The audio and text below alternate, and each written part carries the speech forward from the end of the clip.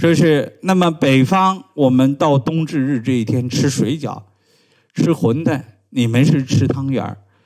记住，汤圆儿不可以吃冰的。你们喜欢吃什么都加点冰里面，这个凉的快。这个一定按照你们的话说，叫稍稍的吃啊，就是烧烧的，火热火热的，滚烫滚烫的，到嘴里那个舌头还要 转几下子，它会才会凉的。啊，你吃水饺不要拿剪刀、拿刀、拿什么刀叉给它割成一小块一小，这个是什么意思？无论是汤圆，汤圆是个珠子，汤圆是个珠子，在这个珠子里面，滚圆的珠子的心儿里面，那就像地球是个圆的，中心冒火，所以汤圆热的时候，里面是不是有火？哎，你借那个火热你的胃火，胃火再降下去，热自己的子宫火、前列腺火，是不是很好啊？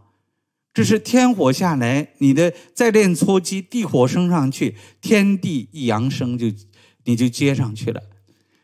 咱们新加坡人、南洋人，大部分是做生意起家的。你们最喜欢听一个字叫什么？旺，旺旺的旺。你旺了，你发的目的不是为了旺吗？你不是为了家旺吗？啊，你不是为了人旺吗？你不是为了自己的事业旺吗？家旺，国家旺，世界旺，太阳系旺，我们的一百四十亿年宇宙旺，众生都旺起来。说你要要想接续一年的旺。你冬至日一定要干好这件事儿。刚才老师讲了，生发功、下腹腔一定热起来，这个搓肌着火一定要练啊。然后汤圆饺子啊，这个馄饨你选一样，然后一定吃的烧烧的。为什么要这种？里面汤圆包的不是馅儿，汤圆包的是一堂光。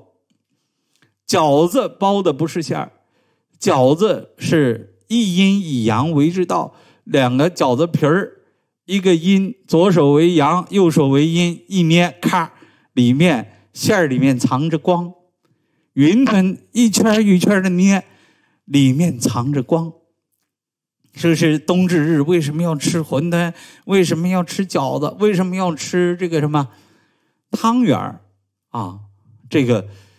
明天大家把这个功课别忘了，不但你自己忘，你还要让什么全家忘，是做给家人吃。掌声一下，长记性啊！要发发的目的是为了忘啊，是不是？这个一定要忘起来。